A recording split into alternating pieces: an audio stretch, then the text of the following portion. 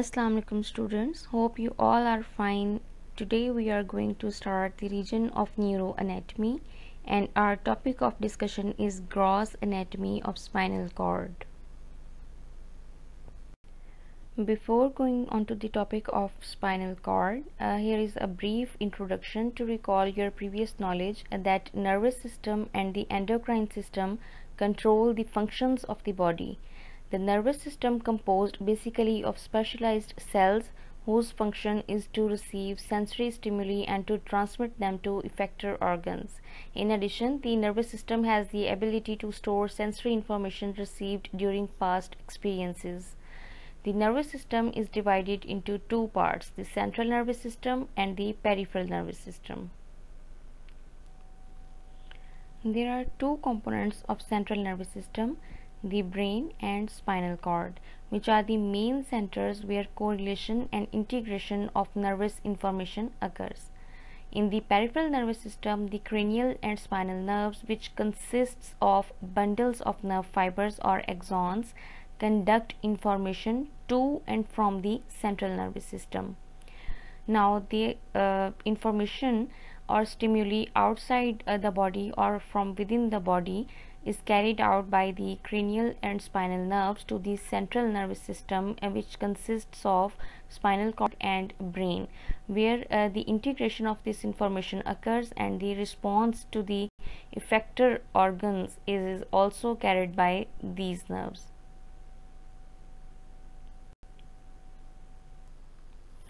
Vertebral column it is a central bony pillar of the body. Within its cavity lie the spinal cord, the roots of spinal nerves and the covering meninges to which the vertebral column gives great protection.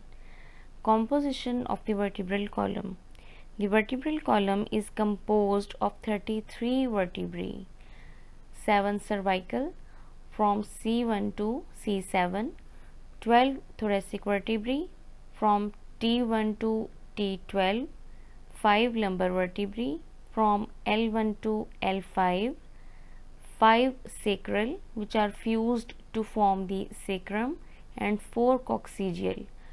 The lower 3 are commonly fused. It is segmented and made up of vertebrae, joints and pads of fibrocartilage called the intervertebral discs. Now here you can see the intervertebral discs which are present between the vertebrae. The vertebral column shows an S-shaped curve uh, when uh, view from the lateral side. The cervical spine curves inward, slightly inward and the thoracic spine curves outward and the lumbar spine curves inward like the cervical spine.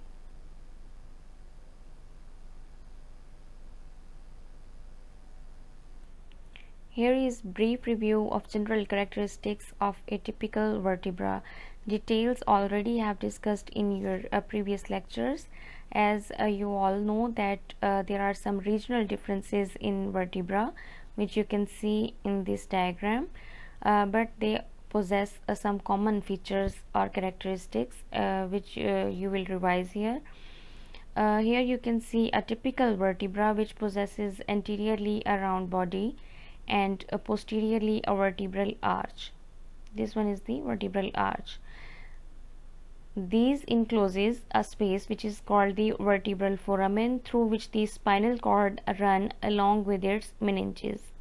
Now the vertebral arch is formed by a pair of pedicles and lamina. These are pedicles which are forming the sides of the vertebral arch each pedicle is notched on its upper and lower border, forming the superior and inferior notches. On each side, the superior notch of one vertebra and inferior notch of the adjacent vertebra forming the intervertebral foramen uh, which transmit the spinal nerves and vessels. Posteriorly, the arch is complete by these flattened lamina. Here you can see the spinous process and these are the transverse processes. this is the superior view so you can see the superior articular facets on the inferior surface inferior articular facets are present and uh, superior articular facets of one vertebra articulates with the inferior articular facets of adjacent vertebra forming the synovial joints.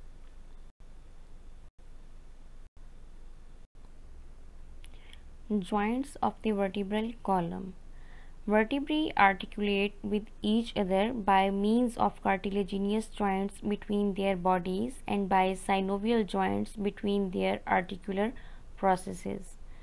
Here you can see bodies of the vertebrae articulate through a fibrocartilage which is called the intervertebral disc and here the superior articular process and inferior articular process of the adjacent vertebrae articulate forming a synovial joint. Now joints between two vertebral bodies. Sandwiched between two vertebral bodies is an intervertebral disc of fibrocartilage. As I already told you that this fibrocartilage which is present in between the bodies of the vertebrae is called intervertebral disc. The upper and lower surfaces of the bodies of adjacent vertebrae that are in contact with the disc are covered with thin plates of hyaline cartilage. Now these uh, bodies are not in direct contact with the intervertebral disc but the surface which is in contact uh, with the fibrocartilage is covered by this hyaline cartilage.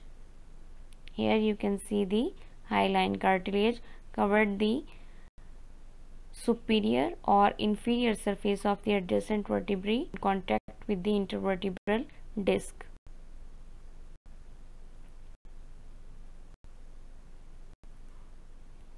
Intervertebral discs. The intervertebral discs are thickest in the cervical and lumbar regions where the movements of the vertebral column are greatest. They serve as shock absorbers when the load on the vertebral column is suddenly increased. Each disc consists of a peripheral part, the annulus fibrosus.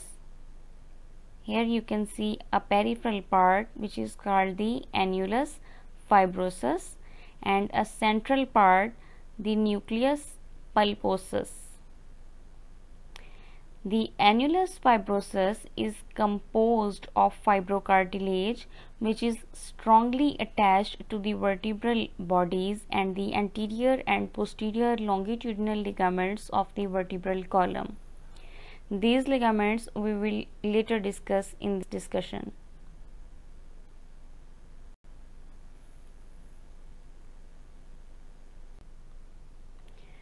The nucleus pulposus. In the young, it is an ovoid mass of gelatinous material and situated slightly nearer to the posterior than to the anterior margin of the disc. The semi-fluid nature of the nucleus pulposus allows it to change shape and permits one vertebra to move forward or backward on another. With advancing age, the nucleus pulposus becomes smaller and is replaced by fibrocartilage.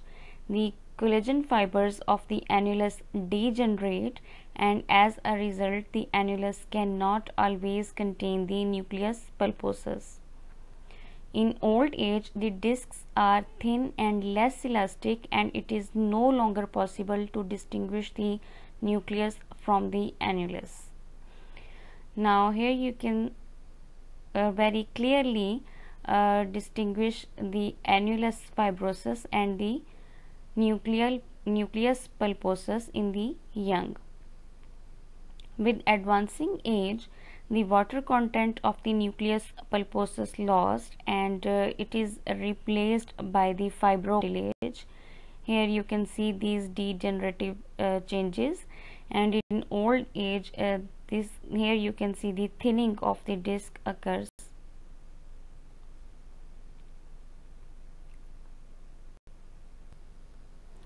An important clinical correlate of intervertebral disc is herniation of nucleus pulposus.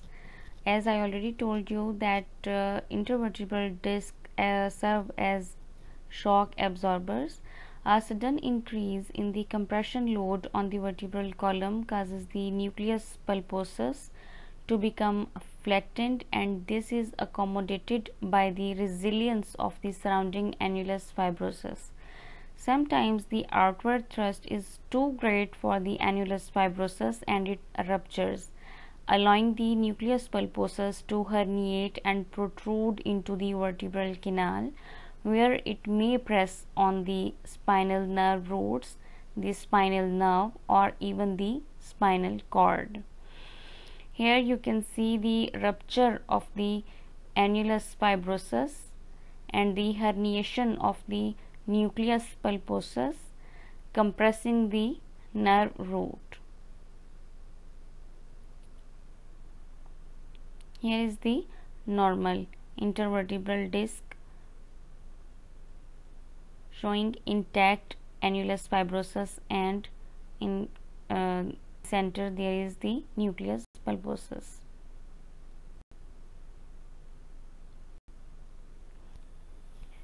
Now the ligaments which stabilizes the joints between the vertebral bodies are the anterior longitudinal ligament and the posterior longitudinal ligaments.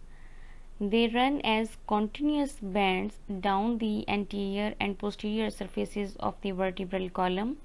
The anterior ligament is wide and is attached to the front and sides of the vertebral bodies and the intervertebral discs. Here you can see this continuous band which is uh, attached to the front and sides of the vertebral bodies and intervertebral discs this is the anterior longitudinal ligament. And the posterior longitudinal ligament is narrow. Here the vertebral arches are removed and uh, you can clearly see the posterior longitudinal ligament which is narrow and is attached to the posterior borders of the intervertebral discs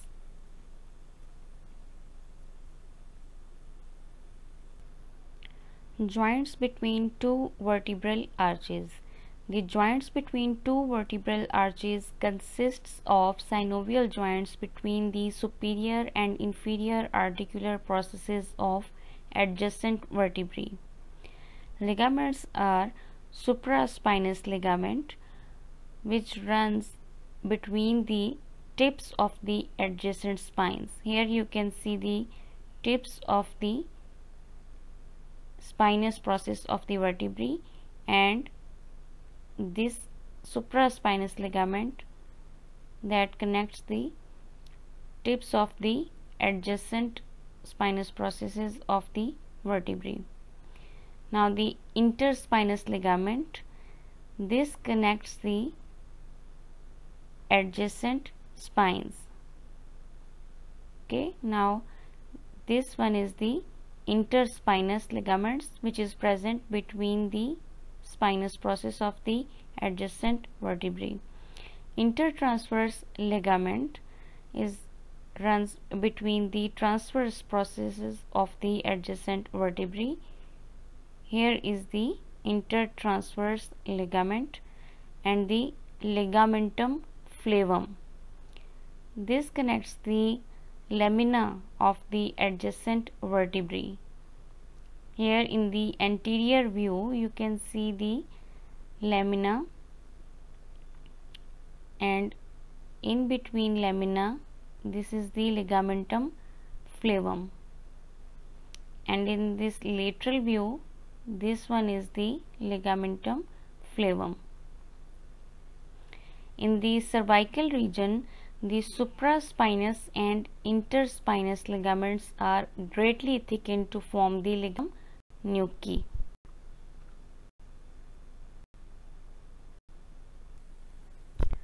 Gross appearance of the spinal cord. The spinal cord begins superiorly at the foramen magnum in the skull where it is continuous with the medulla oblongata of the brain and it terminates inferiorly in the adult at the level of the lower border of L1 vertebra. In the young child, it is relatively longer and usually ends at the upper border of the L3 vertebra.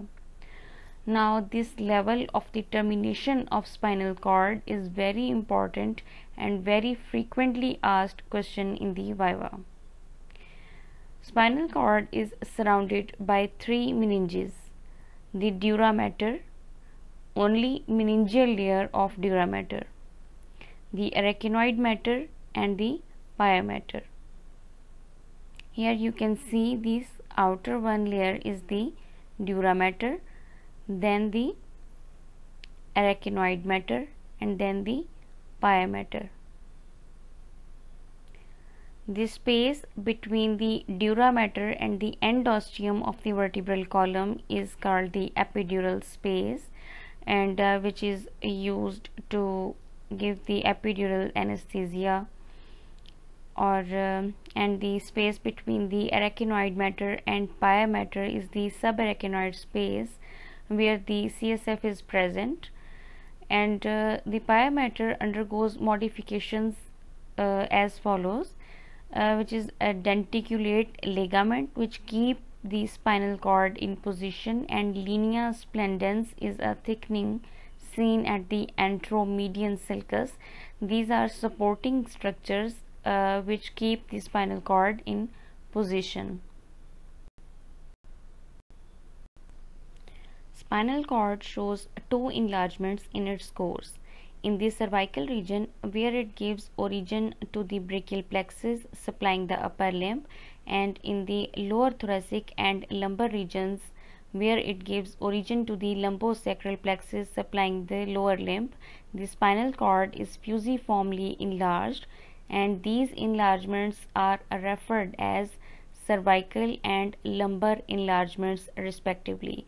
Here you can see the cervical enlargement extending from C5 to T1 spinal segments and the lumbosacral enlargement extending from L2 to S3 spinal segments.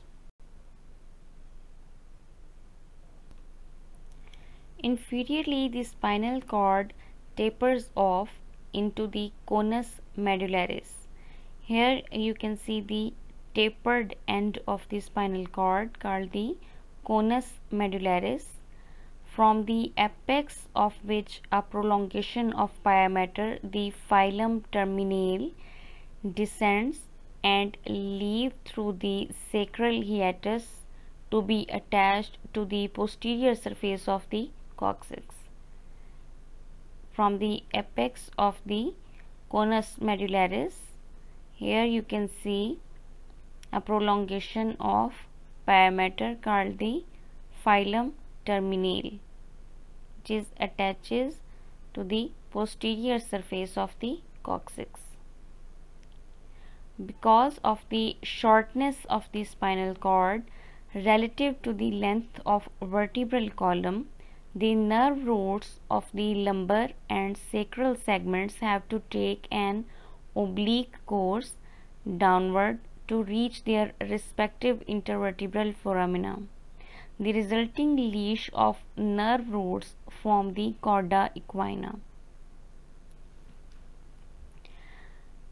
अच्छा जी अब आपको ये बात तो पता चल गई है कि स्पाइनल कॉर्ड जो है वो इन एडल्ट्स टर्मिनेट हो जाती है एंड हो जाती है at the level of the lower border of L one vertebra okay okay, इसके बाद आ, का जो पार्ट रह जाता है वर्टिब्रल कॉलम का अब वहाँ तक ये नर्व रोड्स कैसे जाती हैं कि ये डिसेंड होती हैं ठीक है? ये डिसेंड करती हैं इनका एक ओब्लिक कोर्स और अपने रिस्पेक्टिव फोरामेना के थ्रू ये वर्टिब्रल कॉलम से बाहर निकल जाती हैं।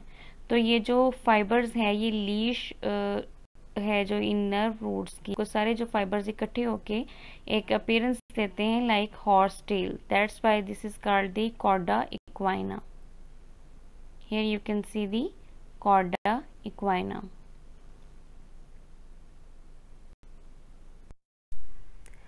anteriorly in the midline the cord possesses a deep longitudinal fissure called anterior median fissure Here you can see on the anterior surface a deep fissure or groove is present which is called the anterior median fissure.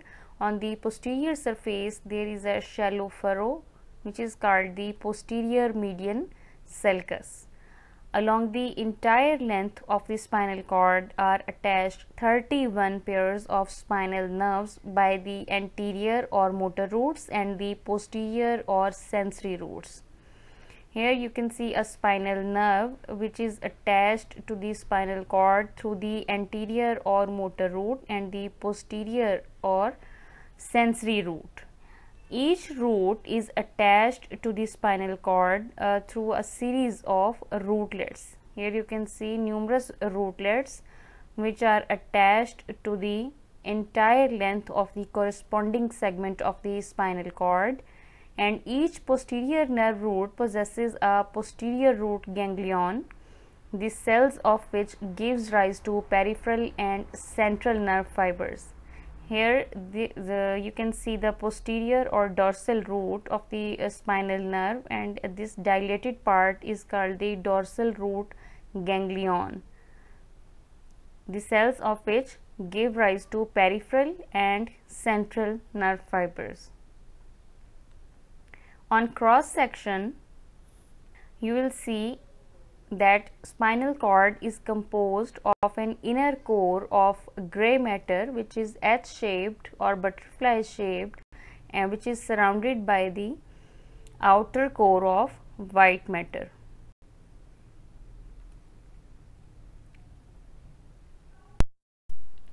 As the spinal cord is much shorter than the length of vertebral column, the spinal segments do not lie opposite the corresponding vertebrae. In estimating the position of a spinal segment in relation to the surface of the body, it is important to remember that a vertebral spine is always lower than the corresponding spinal segment. Here in this uh, table, you can see the vertebral uh, levels at, at which the uh, spinal segments are present. First is the C1 to C7 vertebral level and uh, here the C1 to C8 spinal segments are present. Then T1 to T6 vertebral level and here the T1 to T8 spinal segments are present. Then T7 to T9 vertebral level and then here is the T10 to T12 spinal segments. Then T10 to T11 vertebral levels at which the L1 to L5 spinal segments are present and last one is the T12 to L1 uh, vertebral level and here is the S1 to S5 and coccygeal 1 spinal segment is present. Now the clinical correlates lumbar puncture. It is a procedure that is used to examine the CSF as you all know that CSF cerebrospinal fluid is present in the subarachnoid space and it is mainly used for the diagnostic purposes like infection, inflammatory diseases and trauma, uh, traumatic injuries and it can also be used for therapeutically and for anesthesia. In approximately 94 percent of individuals, uh, the spinal cord terminates at the level of L1 vertebra in the further 6 percent of individuals, the spinal cord can extend to the L2 to L3 interspace. Therefore, a lumbar puncture is generally performed at or below the L3 and L4 interspace. Uh, now, here you can see that uh, needle insertion uh, should be uh, between L3 and L4 vertebrae in adults and uh, it should be uh, between L4 and L5 in children because the spinal cord level is a little below in children than in adults. Conus medullaris syndrome. Conus medullaris is the tapered end of the spinal cord and uh, due to injury to S2, S3 and S4 segments of the spinal cord, Uh, uh, features of the conus medullaris syndrome are anesthesia in the perineum as this region is supplied by these three segments. Involvement of bladder and bowel is early and sexual functions are affected as same nerves carry out sexual functions as well. Cauda equina syndrome as I already told you that cauda equina is a bundle of nerve fibers that arises from the terminal part of the spinal cord and descends to reach their respective intervertebral foramina. Uh, damage to cauda equina uh, which uh, causes of the uh, damage to the cauda equina can be herniation of the disc or any traumatic injury and these results in a lower motor neuron type of paralysis in the lower limbs due to compression of ventral or anterior nerve roots. Uh, root pains is an important symptoms due to involvement of dorsal or posterior nerve roots and bladder and bowel involvement is late. Here is your today's assignment. That's all for today. Thank you.